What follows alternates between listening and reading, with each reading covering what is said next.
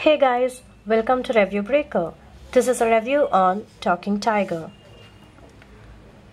This is a cool live wallpaper application in which you can see an amazing tiger talking to you. Now let me walk you through the app. There are various exciting features such as more apps, how to use, run, rate, Orland apps and exit. Under more apps, you get to know about more apps from the Google Play Store. It makes it easy for you to download. Under how to use, you get the options and the instructions of downloading and installing the app and also making it your wallpaper.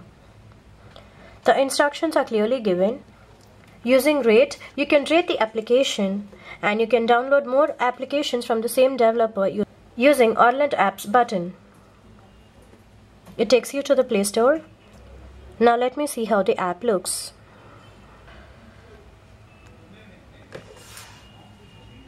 This is not bad. In fact, it looks great. Under settings, you have options wherein you can configure the speed. Let me make it high. You also have more applications from the developer, more cube live wallpapers and so on. Now go back to see the changes you've made.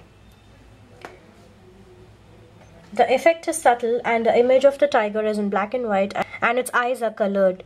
This gives you a ferocious look. To set this as wallpaper, you simply have to click on this icon. This amazing application is available for free in the Google Play Store. Thank you. We hope the review was informative. Keep watching this channel for breaking reviews.